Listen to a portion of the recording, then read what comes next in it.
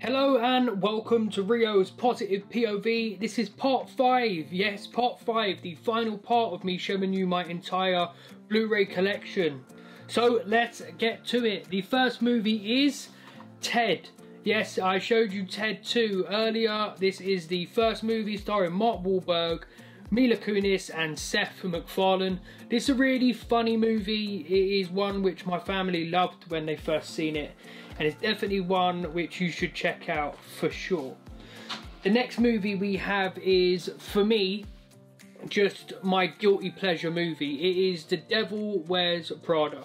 Meryl Streep is just fantastic in this movie, and this may be one of my most watched movies of all time.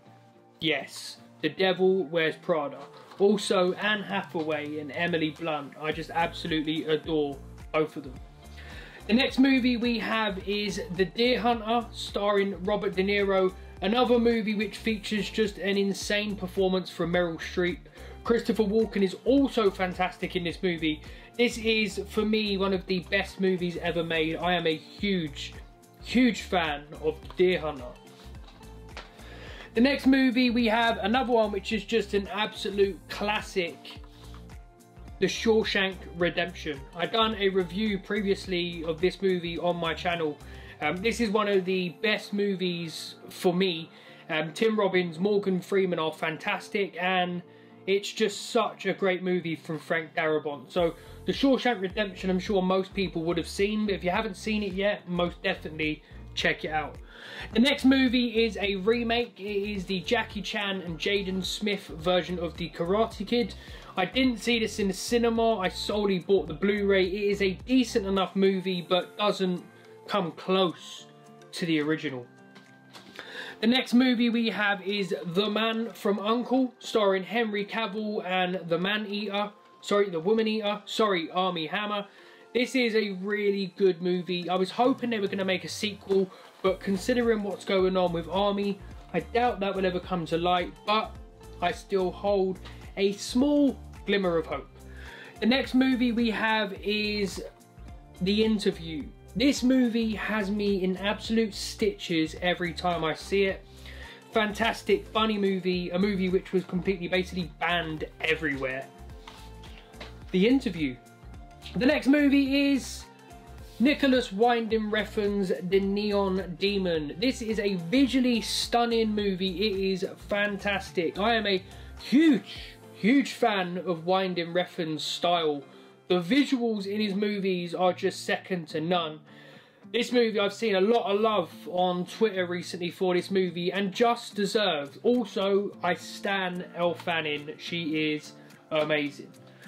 The next movies that we have, movies, is a movie series which is absolutely hated by pretty much everyone. But me, I am a massive fan read all the books, rewatch the movies all the time. I do not care. Also, the house that they live in is like my dream house. So, we have the Twilight Saga.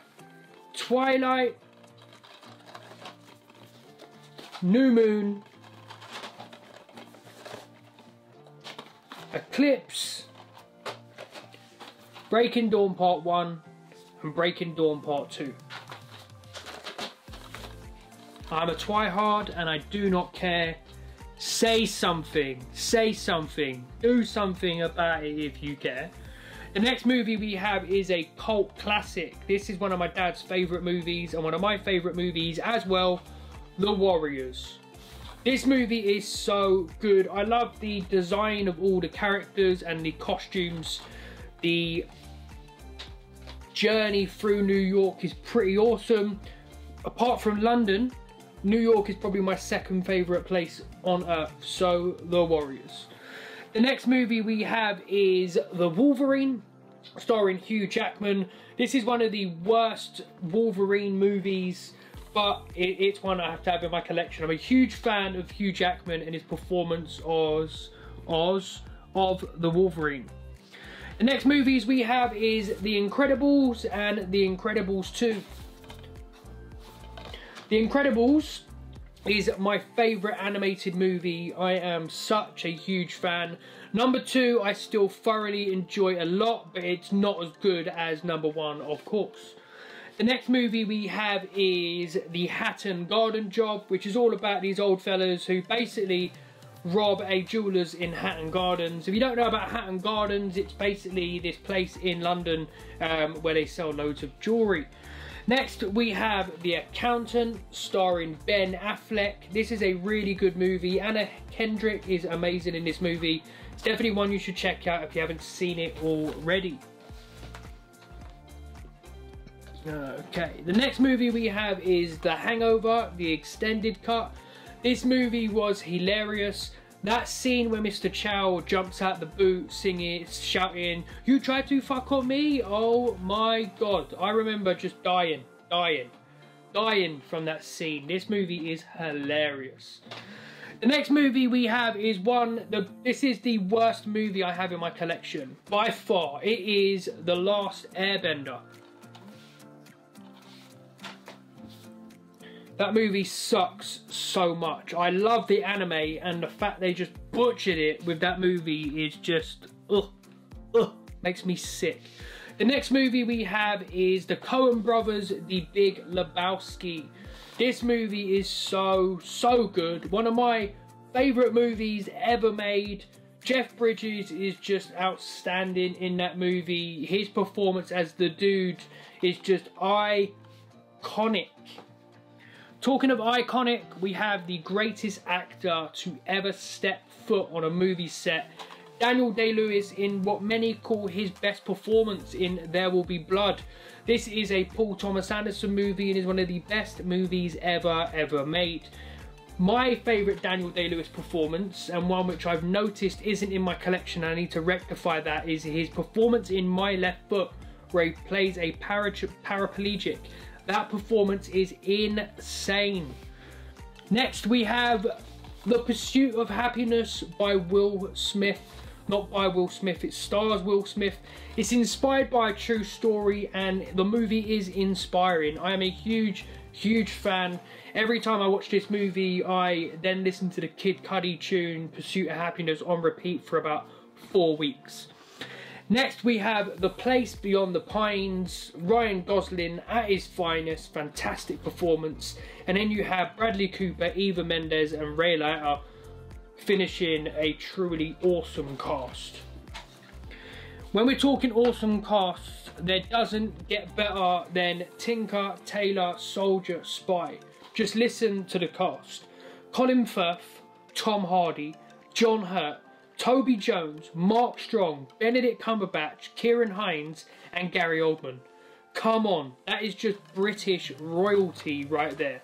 This movie is fantastic. The next movie we have is Jason Segel and Emily Blunt in the five-year engagement. You will notice that I have loads of Emily Blunt movies in my collection. I am a massive, massive fan. If I haven't already said that a hundred times in these videos. The next we have is Illumination Presents The Secret Life of Pets. Very funny movie. I am fascinated by animals and I'm also fascinated by just the concept of owning pets and the fact that I own dogs myself and what do they what do they think? What is going through their minds, especially when they're sitting at home while we're all at work. The next movie is Jessica Chastain and Daniel Bruhl, the zookeeper's wife. Jessica Chastain I can't lie, she is a magnificent actress, one of the best to ever do it, but she is just my cinematic crush. I just absolutely adore her. I think she's one of the most beautiful women alive, and I have to own all her movies. The next we have is This Means War, starring Renee.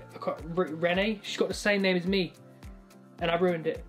Reese Witherspoon, Chris Pine, and Tom Hardy two spies basically fight over this girl. It's a rom-com. Yes, I do like a good old rom-com, I cannot lie. Next we have Tom Cruise, Kelly McGillis, Top Gun. Top Gun.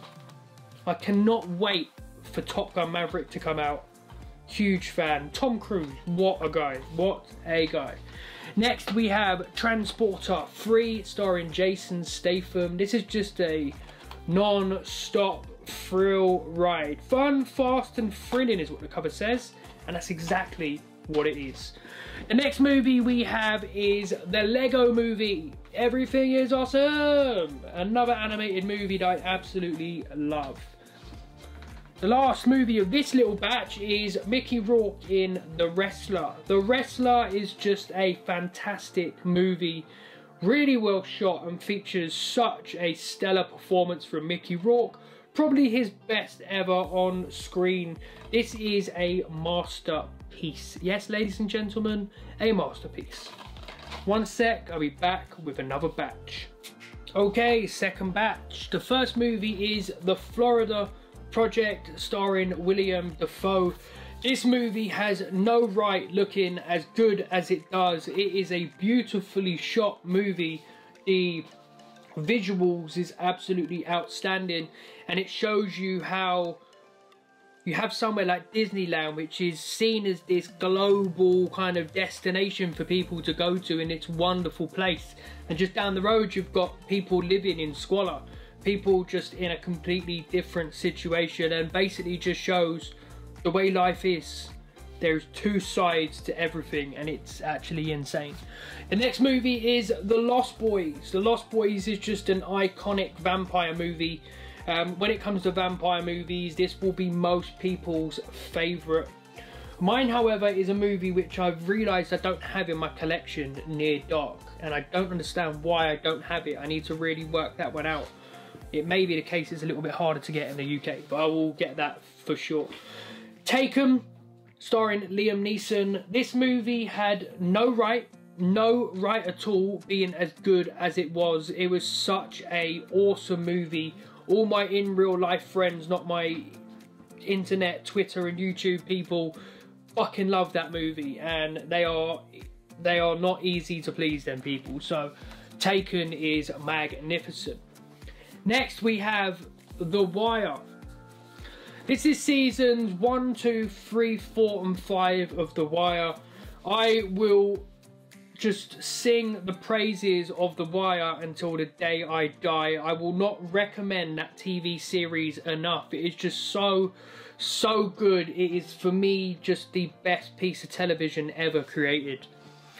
Next, we have The Social Network the David Fincher movie, which is all about Facebook, all about the startup of Facebook, starring um, Jesse Eisenberg. That movie is fantastic. It is my favourite Fincher and is one of my top 10 movies of all time. Next, we have Terminator Dark Fate. This is the most recent Terminator movie to come out. I really actually like this one. Uh, the problem with Terminator is, is you've got T1 and T2 and they are both just perfect movies, right? And everything that comes after, people are going to hate on. It is just natural, and I understand that. But Dark Fate, I actually enjoyed. Next movie we have is The Girl on the Train movie starring Emily Blunt, Edgar Ramirez, Lisa Kudrow, Allison Janney, Luke Evans, Justin Theroux, Haley Bennett, and Rebecca Ferguson. This is a really solid movie. I am actually a bigger fan of the book that it's based on. However, it's definitely worth a watch if you are not into book reading. The next movie we have is The Disaster Artist, starring and directed by James Franco. Ladies and gentlemen, this is based on The Room, yeah, which is a movie by Tommy Wiseau. And you need to watch this movie, but before that, you have to watch The Room.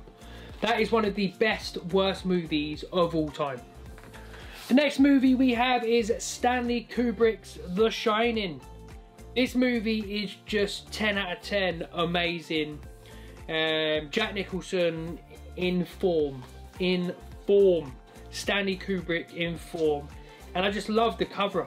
I love the cover. I love this cover. Little slip sleeve. And then you've got the old normal here's Johnny on the front. So perfect, perfect movie. Next we have The Big Short. This has just got an outrageously good cast and it is an outrageously good movie. If you are into stocks, buying shares and stuff like that, this is the movie for you. If you're not, you need to be, so go watch this movie. The next we have is Robert De Niro in Martin Scorsese's The Taxi Driver. Again, what a sexy looking cover. This movie is just so good. One of De Niro's top three performances and just boy oh boy, what a movie. Next we have Tenet in glorious 4K Ultra HD. Some people didn't like Tenet. I thought it was amazing. It gets better and better every time I watch it. And you put this on my 75 inch TV with the old soundbar going boom boom, bang bang. Tenet. The next movie is Terry Gilliam's 12 Monkeys. This is a very fucking weird film, but it is awesome. Starring Bruce Willis, Madeleine Stowe, and Brad Pitt. The next movie we have is Blake Lively in The Shallows. I am a huge, huge fan of shark movies. I don't get in the ocean past waist height, however, shark movies are kind of my thing. Even the crappy ones I find some serious enjoyment from, and The Shallows is actually a really good shark movie.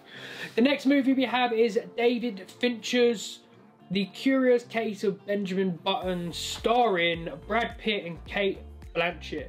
This is a fantastic movie but not one of Fincher's finest, if that makes sense. That geezer has some serious, serious movies. The next we have is written and directed by Paul Thomas Anderson. It is The Master, starring Joaquin Phoenix, Philip Seymour Hoffman, and Amy Adams. This is just a perfect movie. It is a hundred out of a hundred. It is so, so good. PTA is one of my top five movie directors. The next we have The Imitation Game starring Benedict Cumberbatch. This is a good movie. Is it going to blow your mind? No. Is it worth a watch? Yes. The next we have is the Inbetweeners movie. If you don't know about the Inbetweeners, check yourself before you wreck yourself because the series and the movie are just fucking hilarious. It was also the first time I seen Theo James, and I can never look at that geezer ever without seeing a piece of shit hanging off his nose. So thank you Inbetweeners movie. The next we have is The Italian Job starring Charlize Theron, Mark Wahlberg, Edward Norton, Jason Statham, Seth Green. Can't even remember who else is in this now. Is Mos Def in it as well? I think he is. Yeah, Mos Def's in it as well. This is a really good remake, not as good as the original, of course. The next we have The Expendables, which is a nuts movie. It is basically all the action heroes of the 80s together in a movie, kicking major ass. The next we have another David Fincher movie starring Rooney Mara and Daniel Craig. It is The Girl with the Dragon Tattoo. This is a awesome movie awesome, awesome movie. I would recommend everyone also to go and check out the Swedish trilogy which came out. It's so good. The next we have The Business. The Business. This movie is awesome. Look, if you love British gangster movies, then you are going to love this movie. A Nick Love film. He's the same geezer who wrote and directed The Football Factory. The Business is worth a watch. The next we have The Invisible Man, directed by Leigh Whannell, starring Elisabeth Moss. This movie is fantastic. I seen it in the cinema and I really liked it to be honest. I thought the scene in the restaurant with the knife, oh, that caught me so off guard and it was banging. The next we have The Sound of Music.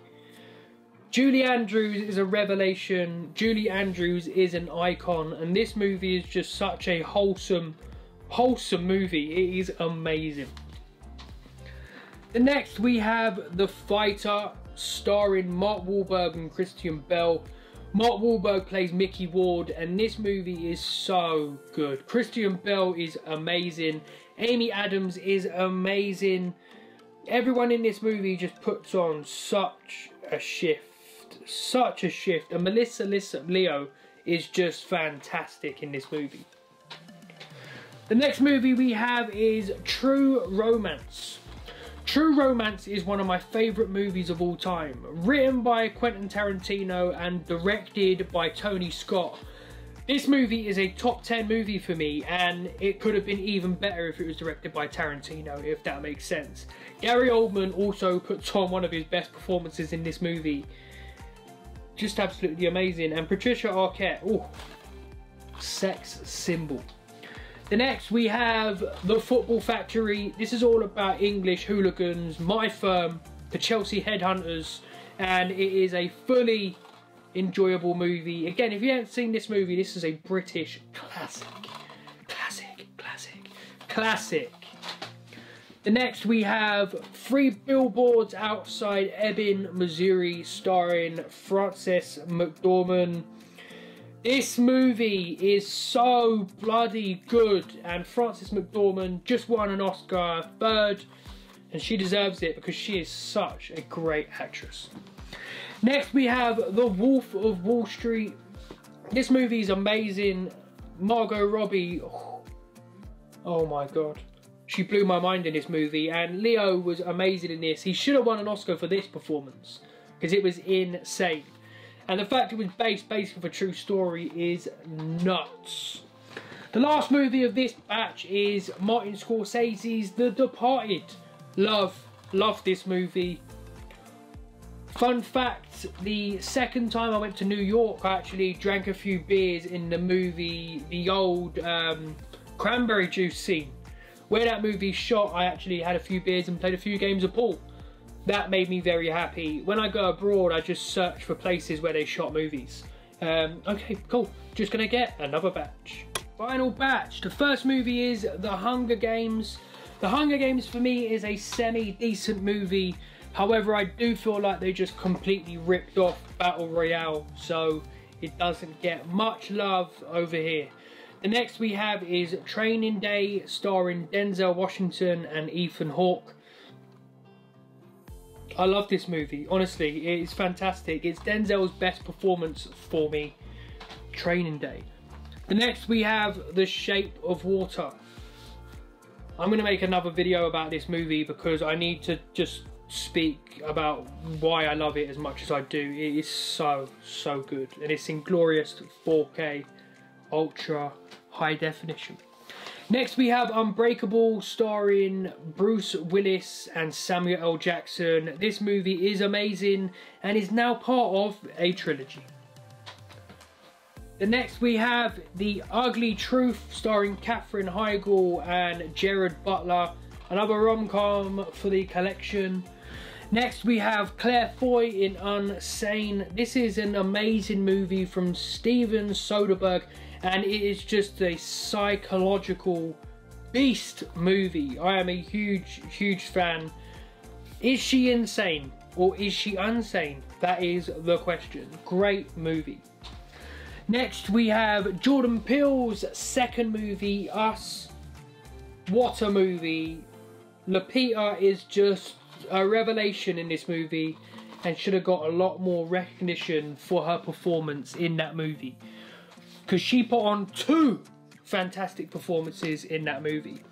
Next, we have a collection of movies. This is a movie series which is one of my favourites. I know they're not great movies, but I just love vampire movies. Like, it doesn't matter what they are, I just love vampire movies. And this movie collection is Underworld. Underworld. We have Blood Wars. The original Underworld. Underworld Evolution.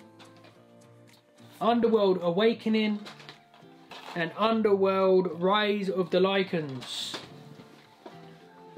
Kate Beckinsale walking around in black lycra. What is there not to love? Next we have V for Vendetta. This is a steelbook, a really, look, it's just, look at that. Look at that, man. That is just some sexy shit. This is one of my favourite movies of all time. It's just so good.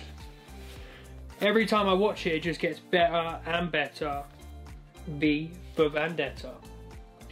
Next, we have Vice, which is a movie which was hyped up so much. The Hollywood Reporter, yes, the same people the other day who said about the attendance of the award winning movies being the lowest ever, bunch of spazzes. This movie is overrated, it's not great. Next, we have Venom, starring Tom Hardy. I liked parts of this movie. Am I a fan? No. Do I think the sequel is going to be 10 times better? Yes, I do. I really think the sequel is going to be awesome. Next, we have Vertigo, Alfred Hitchcock's Vertigo, starring Grace Kelly. No, it's not Grace Kelly. Sorry, I'm getting confused with Rear Window. My bad. It's Kim Novak. Alfred Hitchcock, that geezer knows how to pick his leading ladies. Wow. And James Stewart is just, what an actor. Next we have Wanted. This is another steelbook. James McAvoy, Morgan Freeman, Angelina Jolie. This is a wholesome, awesome movie. I love it. Next we have War of the Planet of the Apes. This is the third movie in the Planet of the Apes trilogy and is a fantastic conclusion to one of the best trilogies of all time. Next we have another Emily Blunt movie, Wild Target. That is a really stupid, silly rom-com type of movie and it's really enjoyable. Next we have Steven Spielberg's Warhorse. This is based on a play which was in the West End. I seen the play and it blew my mind. So I had to see the movie. It's Spielberg. So it is written here by Chris Tookey of the Daily Mail. Spielberg's finest work, a masterpiece. I don't agree with it being Spielberg's finest work. However, it is a fantastic movie. Next we have Whip It. Whip It is a movie Directorial debut from Drew Barrymore, starring Elliot Page. What a movie! Fantastic, under underrated. The next movie we have is Whiplash. This movie is so fucking good. J.K. Simmons is just intense. Intensity is the word for Whiplash. What? What a movie. Damien Chazelle is just a bad boy filmmaker. Next we have War Dogs starring Jonah Hill and Miles Teller. Decent movie, it is worth a watch. Then we have Wonder Woman starring a Woman. Wonder Woman. I enjoyed Wonder Woman. It's one of the better movies in the DC Extended Universe. I weren't the biggest fan of WW84, however, but Wonder Woman gets nothing but props from me. Now we have What's Eating Gilbert Grape, one of the first Leonardo DiCaprio performances, and I believe he was nominated for an Academy Award for this one. Yeah, Best Supporting Actor Oscar nomination that made him into a star. I don't think What's Eating Gilbert Grape made him into a star, but I do think it was a factor for sure. The next movie we have is a Pixar movie, WALL-E. WALL-E is one of the best animation movies. It is a movie which has a purpose. It's a movie which has a story behind it. It's a movie that should inspire people to make a change. WALL-E is just an amazing movie. I love it. Next we have Tom Hardy and Joel Edgerton in Warrior. This is an amazing movie. I love MMA. Any martial arts movies for me is just a win. It's a win. And then you put Tom Hardy in it. The guy's physique in this movie is insane. The way he kind of molds his body for roles is insane. Next we have Wedley, Wedley? Wesley Snipes and Woody Harrelson in White Men Can't Jump. I don't know if this is true. I know I'm a white man and I definitely cannot jump, but I'm sure I've seen a few people in the NBA jump that are in fact white. Not many, but a couple. Great, great movie. Love it. Next we have Zodiac, the director's cut. Fincher, bad boy director, bad boy movie. Not much to say. The final movie in my collection, ladies and gentlemen, Zero Dark Thirty, starring Jessica Chastain, and it is one to really, really end on. Directed by one of the best directors of all time, Kathryn Bigelow. Ladies and gentlemen, that is the end of my Blu-ray collection. If you've watched this video, thank you. If you've watched all five parts, thank you. I will surely be back soon with some more Blu-ray editions because I realise there are many movies that don't have in my collection that I need. So, I'm Reo. This has been my positive POV. Well, it's been my collection anyways. Thank you for watching. Peace out.